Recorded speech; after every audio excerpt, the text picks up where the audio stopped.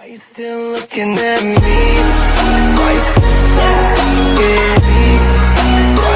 yeah. Fortnite blew up. Everyone knows this. If you say you don't, you're lying. Quit trying to be a cunt who says they don't follow the latest trends because the odds are that if you're watching this video, you've played the keyboard smashing game.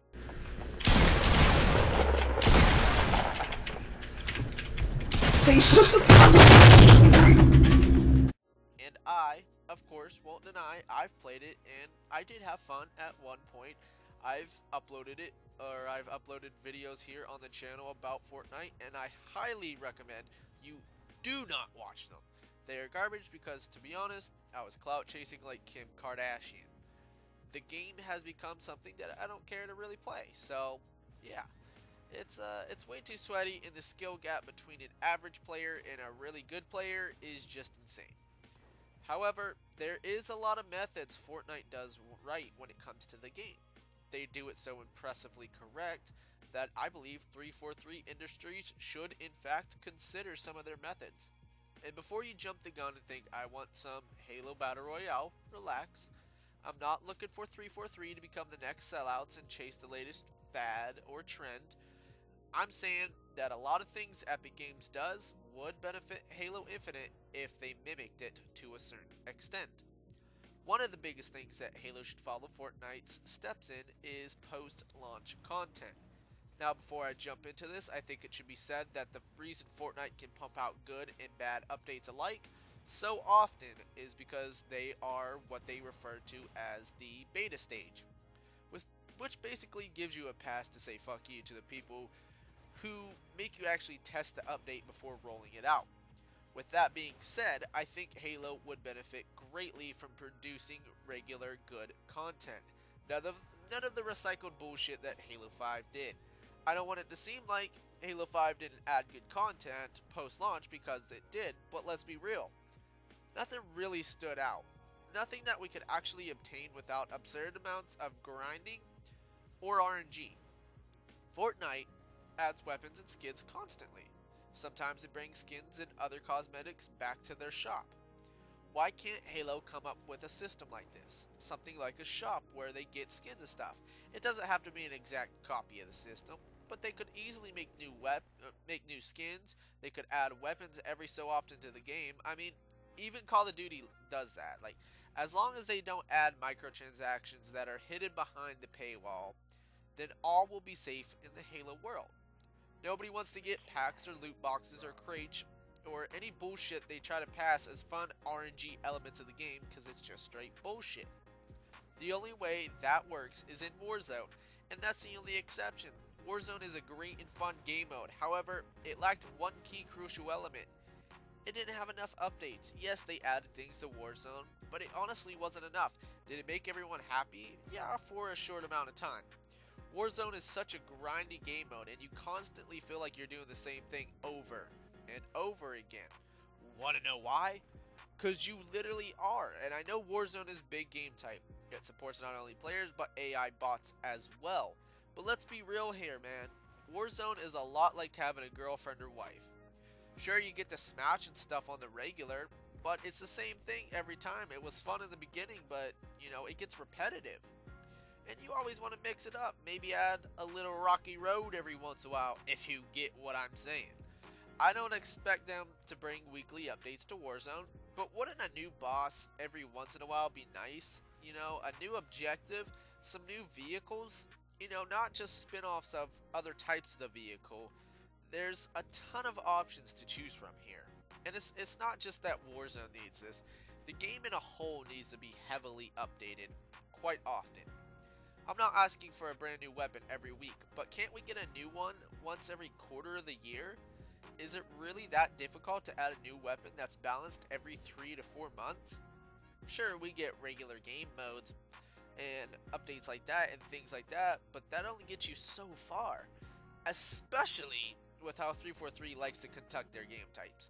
The rotation of game types is disgusting if I'm being honest, at least in Halo 5. The thing that I loved about previous games like Halo Reach and Halo 3 was the amount of game types you could search from. From Rumble Pit to Action Sack, from Team Slayer to Multi-Team.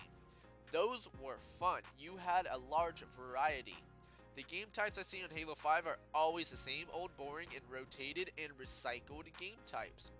Half of the cool game types are in a freaking sweaty are in sweaty ranked. That sucks. That's awful. Wanting to play Breakout but being forced to play with kids who are trying to become the next ninja, that's it sucks. You shouldn't be forced to have to choose between sweaty fake casuals and sweaty try-hard ranked players. This game mode would be super fun and casual. It's personally my favorite game type in Halo 5.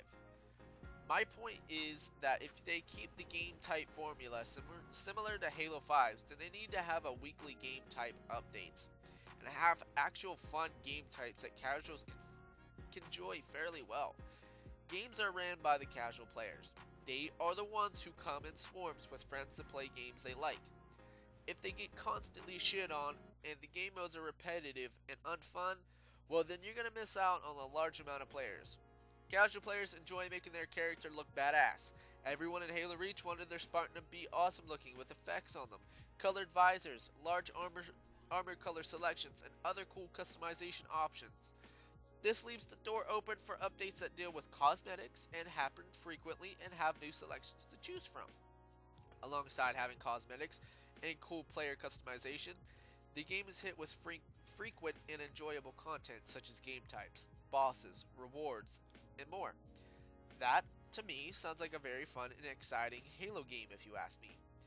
And the point I'm trying to get across in this video, if you haven't already got it yet because you have an anal bead for a brain, is that games have evolved.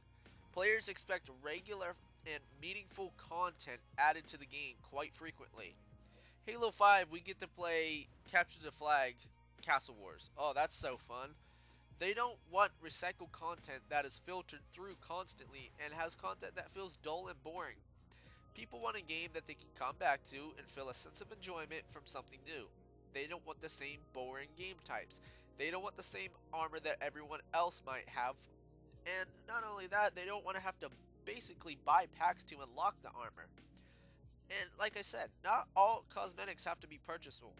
I know plenty of people, including myself, who grind for pieces of in-game content if they prove to be cool enough.